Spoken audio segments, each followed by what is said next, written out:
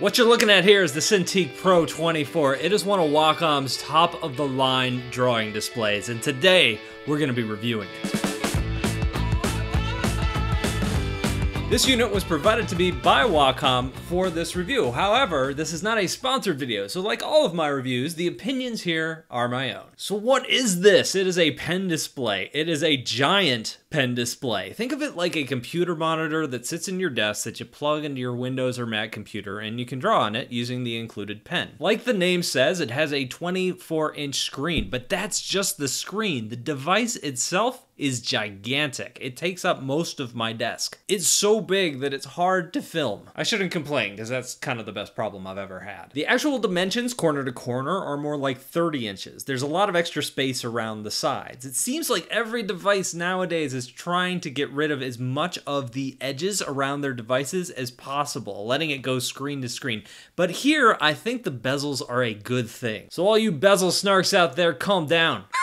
I've used some displays that don't have much edge around the screen, and when you're drawing, your hand will slip off the edge or it'll get caught. It's not something you want to happen when you're trying to get a smooth line or trying to hit all those tools that are lined up along the side of the screen. So in this case, all of that extra space actually serves a functional purpose. Also on these newer displays, Wacom has been doing away with the express keys and instead including their handy dandy express key remotes. These things are incredibly flexible. I mean flexible in terms of being programmable. It's also flexible in terms of being able to put it anywhere you want. You can have it off the display, you can put it directly on the display, on the left side, on the right side, you just move it around. It's also magnetized with a rubbery gripper on the bottom. It really grips to the display. You're not going to just knock it off with your hand. Well, you can knock it off, but you know what I mean. But like I said before, it is uber customizable. It has a ton of buttons. There's different modes. It's customizable for separate programs. You could really go to town with this thing. And it plugs back into the tablet to recharge and you can use it while you're doing that. The 24 inch screen is a high density display. It is full 4K. That's 3,840 pixels by 2,160 pixels. Not pickles. Wacom is the only company out there right now making screens at this high of a resolution for pen displays. Unlike a normal monitor, which usually sits back a little bit, you're hovering over this, so you can see all of those details. It makes a big difference, it's much crisper. And another thing Wacom has done is they've reduced the amount of space between the glass and the screen below it. And once you get it calibrated, it really does take away that parallax effect that you get on some displays. I don't know a whole lot about color and profile, but this does have a 99% Adobe RGB gamut, and the colors look really good right out of the box. You're probably gonna notice along the top, there's also some light up icons. These are touch buttons that only light up when the display is turned on. You can do things like bring up the screen's properties, an on-screen keyboard, or the Wacom settings. There's also a touch icon that lets you toggle on and off the touch mode on the display. You can get this Cintiq with touch controls or without touch controls. The one that I'm reviewing here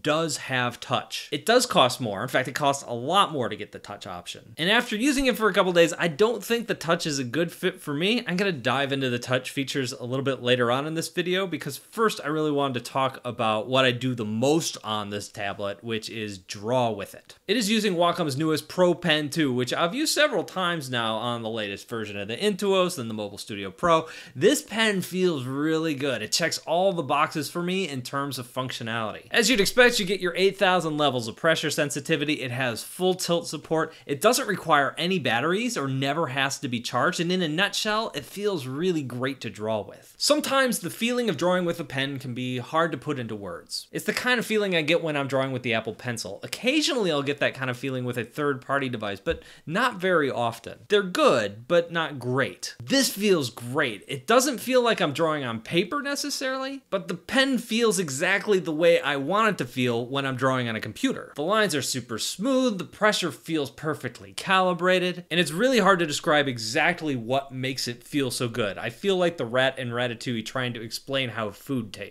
Wacom is one of those devices I grade pens against. I get really smooth lines, pressure feels good. The only thing that I could ding this pen for in my normal pen test is that it blobs up a little bit if you're drawing super fast hatch lines, but slowing it down a little bit cleans that right up. The texture you're drawing on also feels really good. Wacom calls it etched glass. I'm not sure if it's actually glass that's etched or if that's just what they call the coating on it, but it does give you a little bit of texture and it does feel really good to draw on. When you're drawing on the screen, it does get warm. Not hot, just kind of warm. This time of year, I like it because my office is a little bit cold, but in the summer, I would probably wear a drawing glove so that my hand doesn't stick. The other thing that you will definitely notice is that it has a fan in it. The fan doesn't run all the time, but occasionally it kicks in for a couple seconds at a time. I timed it once and it usually blows for about 20 seconds every couple minutes. It's not super loud, but you'll definitely notice it. It sits at a pretty comfortable angle for drawing. It has legs, but no stand. There is a really awesome ergo stand that Wacom offers.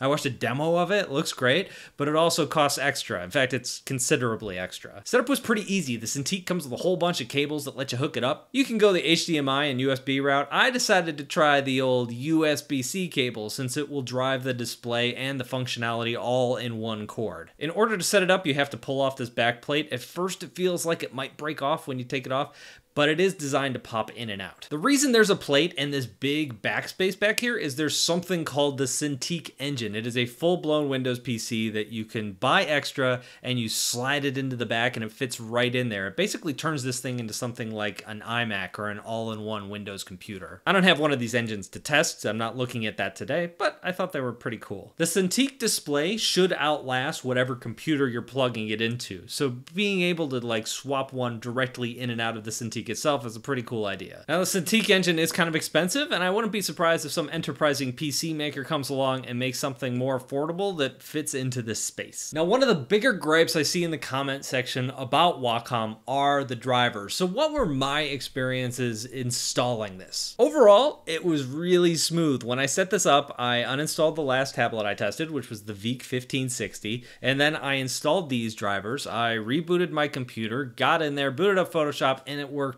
perfectly. I did that both on Windows and on my Mac, and I've had zero problems. It worked exactly the way I expected it to. As a reviewer, it's really hard to judge these kind of technical issues. If you go to a forum or a Reddit page, it's hard to tell if there are a handful of isolated conflicts that people are talking about there, or if it's a widespread issue that affects everybody. But my personal experience with Wacom devices has been very positive. They've been very easy to set up, and they've needed very little or no fiddling. So let's get over to those pros and cons. So the pros I've mostly covered. First of all, it's huge and it's beautiful. There's little or no parallax. There's lots of pixels. This is really top of the line. It does come with a hefty price tag, but if you're willing to pay for the best, you know that you're getting the best. I also just love drawing with Wacom's pen. I still hold them up as my gold standard for drawing. This is no different. It's it's an amazing drawing experience. But what about the cons? What are some of the things that I would like to see improved? There is one big thing here I really didn't like, and that is the touch features. It just picked up my palm far too much. I was always accidentally rotating the screen or toggling off a layer with my palm. It was really nice to pinch and zoom and pan around my drawing, so having those features there aren't a bad idea, and Wacom makes it super easy to toggle the touch on and off. I ended up trying a workflow where if I needed to zoom around or pan around my drawing, I would just reach up and toggle on and off the touch mode, and then I would pan and zoom, and then I'd turn it off and continue to draw. But after a few minutes, I figured I might as well just use the express keys to do that kind of stuff because it's faster. And since the remote itself is so nice, it's just a better workflow. There are some nice things that you could do with touch, especially when you're using this on Windows, since Windows is specifically built for touch inputs. Having that touchscreen keyboard right there was really nice. Being able to navigate folders and, and that sort of thing worked better in my workflow on Windows. Really, the only time it got in my way was when I was drawing. So this might be something that photographers can really appreciate, or if you're doing video editing. But for me, in illustration, I think that extra $500 for the touch mode just, just isn't quite worth it. Now, the rest of my cons are more nitpicks, or things I just prefer. So one thing you should be aware of is that the coating on this thing, the etched glass, refracts the light. So when you get in really close to the screen, you're gonna notice that a little bit. For me, this isn't a con. For some people, it will be. The etched glass is gonna dull the colors a little bit, but the positive side is that that texture actually feels really good to draw in. So like I said, it's a trade-off. Some people won't care. I'm one of those people who actually likes making that trade-off, stuff but it is something that I did want to mention in the context of this review. If you're looking for those super specific colors,